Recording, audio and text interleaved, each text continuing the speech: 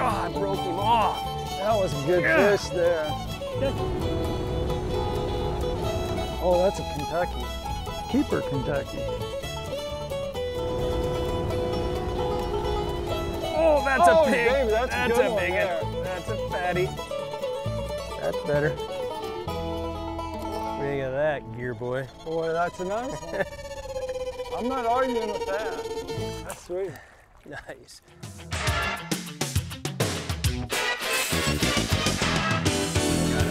Got it.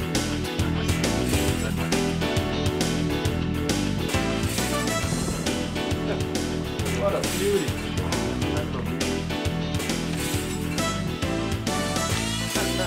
Seconds after two. Let him run. Showtime. You're a dead end. You just hit a goat.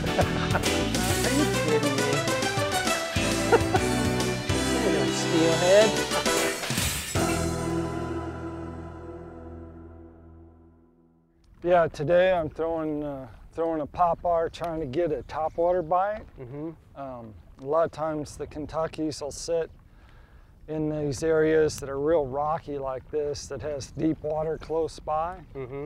So, and early in the morning like this, it's, um, you know, it's a great time to throw it. Or if you have a lot of cloud cover. So On this edition morning of it Fly Fish like TV with Kelly Galloup, cover. we joined Brad Wiegman on Beaver Lake, Even though it's a just outside breast Springdale, Arkansas. cool. Brad and Kelly are squaring off. Gear guy versus oh, fly guy. Few know Beaver Lake better than Brad, who is one of oh. its top guides. Uh, Our dynamic duo will be hunting spotted or Kentucky bass. They're not big, but they are unique and challenging. Along the way, we'll see if it's the flies or lures that wins the day. If you the look day. inside his mouth, look, see that? That's a crawdad inside there. So basically he was, well, he was hungry.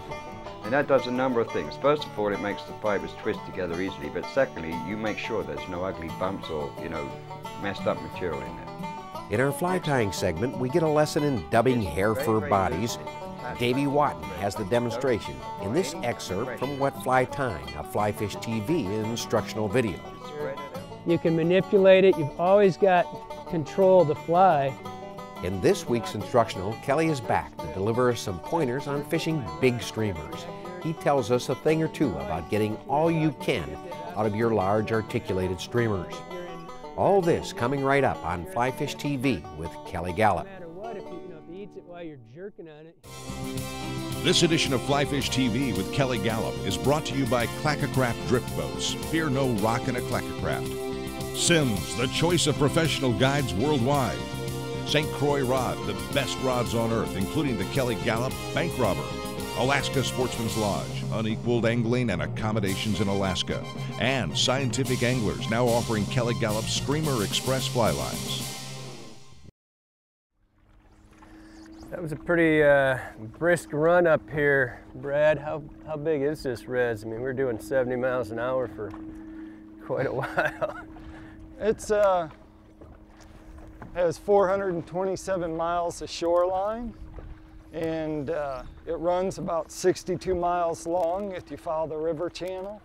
So uh, you can go quite a ways from dam to uh, where both the tributaries, the White River and War Eagle meet.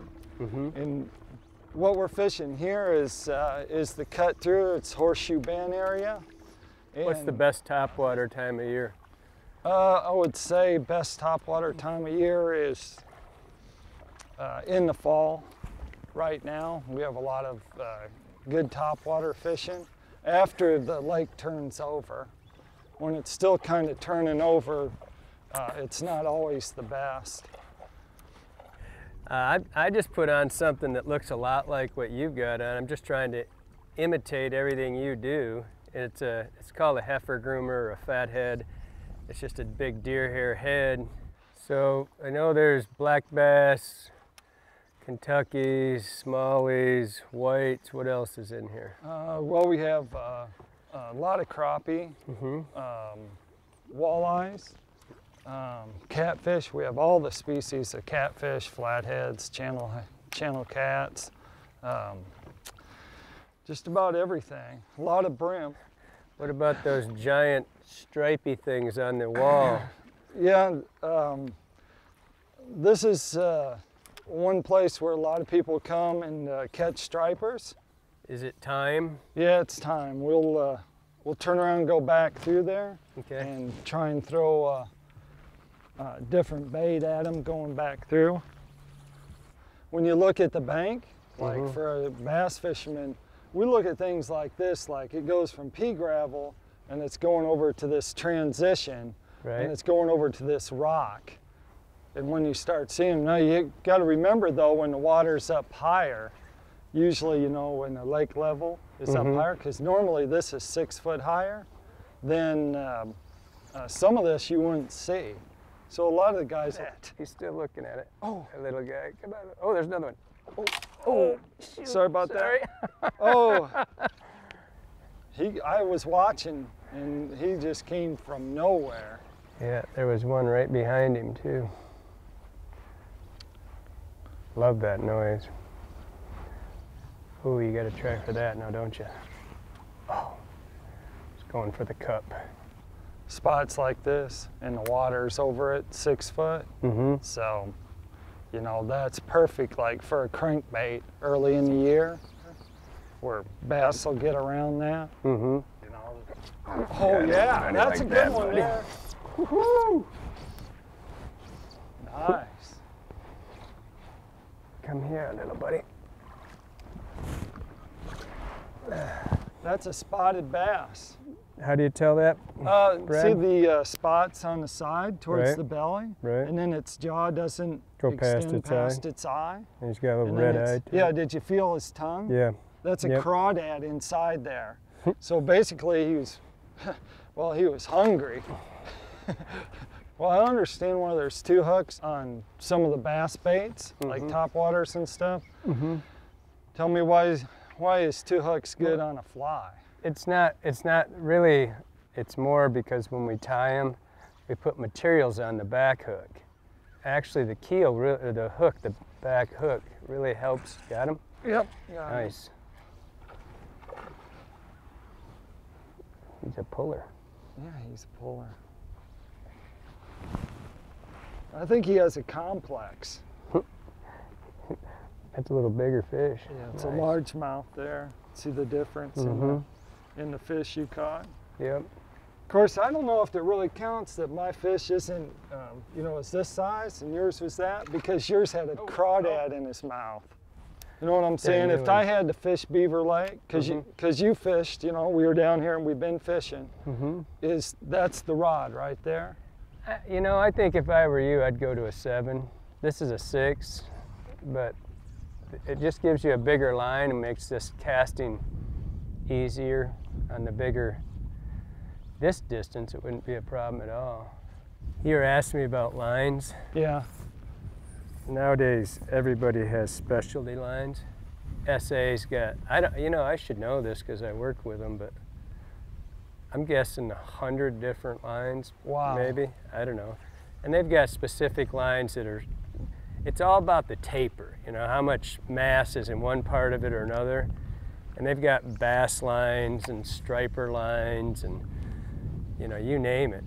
I think uh, with the new technology, obviously, and a lot of the things you talked about, it, I think more fly people, more bass anglers would be fishing flies.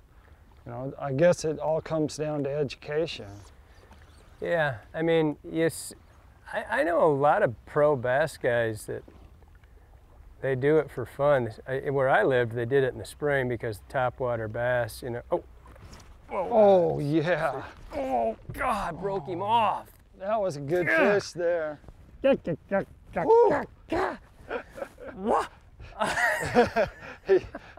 That's He's 12 going in the lake That's after him. 12 pound tippet, man. Oh, one just, but there he is. Oh, Oh yeah. oh, he came back and busted it again. Here we go. Come on over. Here we go. Oh, that's a Kentucky. Keeper Kentucky. On Beaver Lake, Kentuckies have to be 12 inches to keep. They just don't get as big as largemouth. mm-hmm. Takes them a long time to grow. But that one, probably 12 inches. And they're aggressive. I want to know when my lessons come, when my fly fishing lessons come. Hey. Oh, that's Oh, a pig. baby, that's a good a one big there. That's a fatty. Whoa. You need some help or uh, Oh, wait, you kidding? on it? No, I'm all right. That's a keeper. Can, that's a nice Kentucky right there. Hey, That's Redemption. a nice Kentucky. redemption. He's almost. Oh, put that, put that little jumpy thing. Yeah, oh, two hooks. You don't really want to reach in on those. Nice. That's better. What do you think of that, gear boy? Boy, that's a nice one. I'm not arguing with that. That's sweet. Nice. You make sure there's no ugly bumps or, you know, messed up material in there. Next thing. Just ahead on Flyfish TV with Kelly Galloup, Davy to Wotton has some great information on how to go about dubbing with hair fur. With this particular kind of material. Just spread it out nice and even. See, it's natural fiber. It compresses very, very easy. This is natural fibers, hair fur. And what it pretty much amounts to is this. When you get that block of dubbing out of the box, just very, very gently just tease it out towards you like this. And what that does, it brings the fibers into a lengthwise direction. And when they're in a lengthwise direction, and I'll show you something here on my fingers. If you draw those fibers out in a lengthwise direction, see how easily they twist together like this. So essentially what I'm showing you here is that I can produce a dubbing noodle like that in my fingers.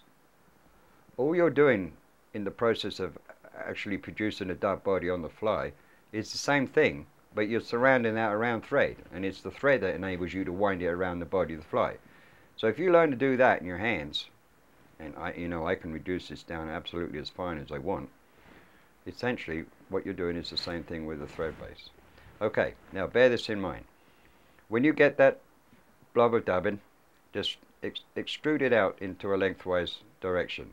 And that does a number of things. First of all, it makes the fibers twist together easily, but secondly, you make sure there's no ugly bumps or, you know, messed up material in there. Next thing is very, very loosely attach that to the thread base. Don't apply any compression at this point of time with this particular kind of material. Just spread it out nice and even. See, it's natural fiber. It compresses very, very easy. Requires very little compression to actually cause it to surround that thread base.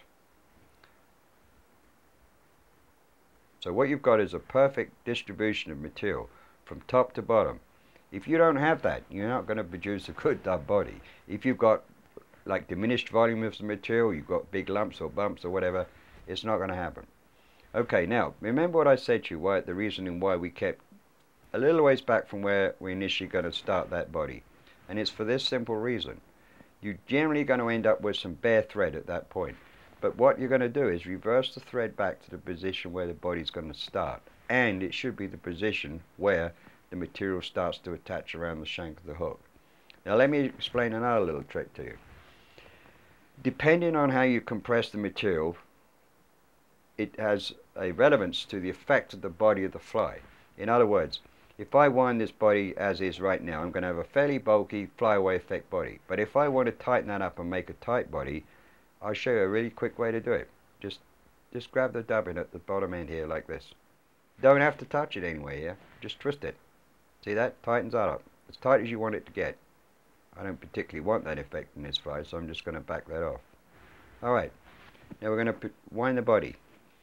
And each time that I do that, so I kind of bring my finger back and I, I kind of tap that material back. And I'm watching all the time as I'm moving forward the profile I'm, I'm actually building up in the body of the fly. But ultimately what I'm looking for is that the last turn I make, there is no material left on the thread. I have none to drag off and we're clean, ready to accept a hackle. And so the first fly that I articulated it with any success at all was just this basic T and A.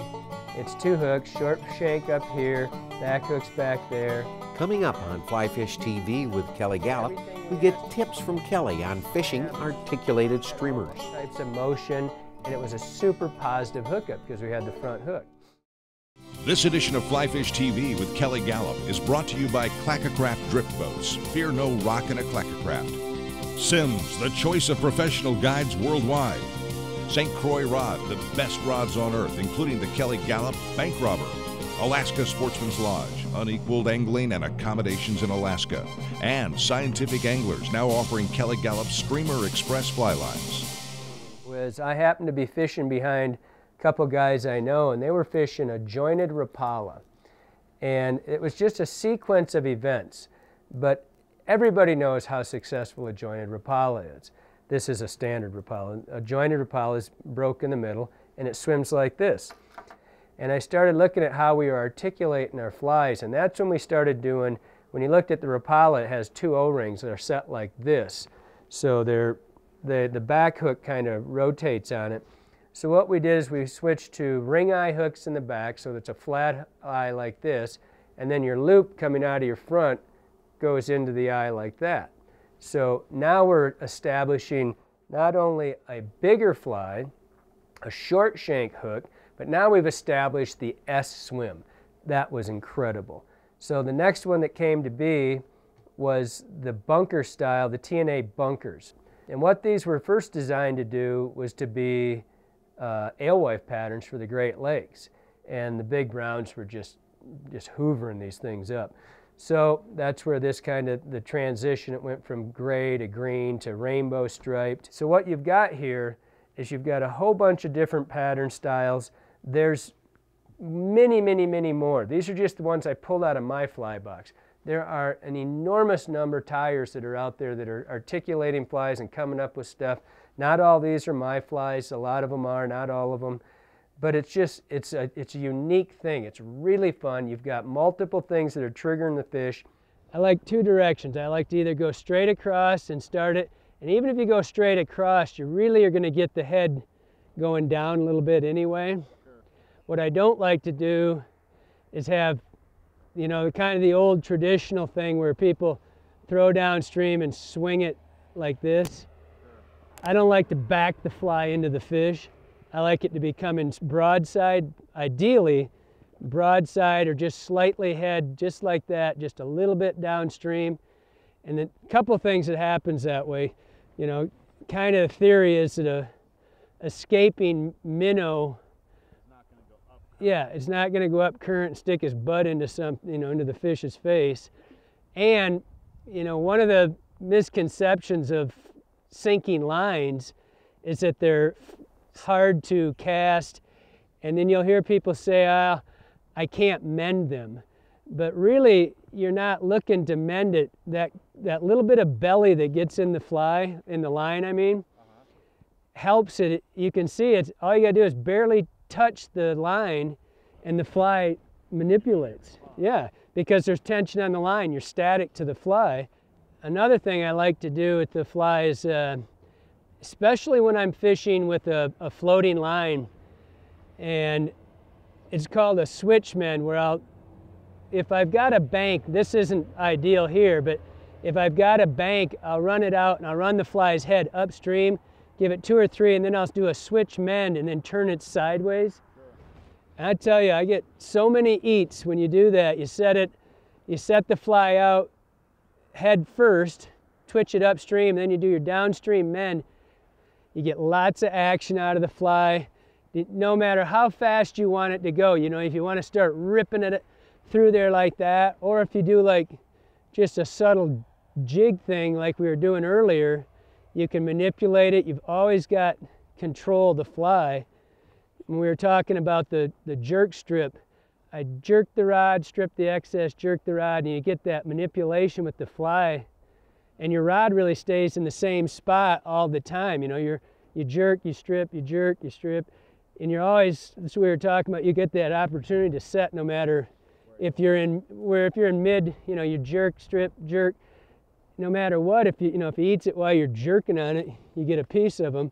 So basically to wrap it up on these flies, what we've done is we've tried to make flies, A, that swim with an S swim, project a big profile, lots of profiles, so it looks like a actual minnow, but we're trying to keep the flies light because they're designed to fish basically with a sinking line. If you're going to do it on a floating line, you might have to throw a little cone head on your leader or a tungsten bead or something like that. But for the most part, these are just trying to project a big image without being super heavy and really fun to fish. Man, what a fishery. Well, But I, ex- we'll I be expect you to come back down soon, so. Well, about the first picture you send of a 20 pound striper, I'm gonna be, I don't know, I don't know if my marriage could take another week of me being gone, but. Honey. Oh. That's it for this edition of Fly Fish TV with Kelly Galloup. We hope you enjoyed the show and that you'll remember our sponsors and guests who made it possible. A special thanks to Brad Wiegman for taking us fishing and having his friend Dr. Mark Powell put us up. Also thanks to Davy Wotton for once again showing us an extra thing or two about tying. Not to be forgotten, thanks to our host Kelly Galloup for providing his expertise and fly fishing friends in his quest to make us all better anglers.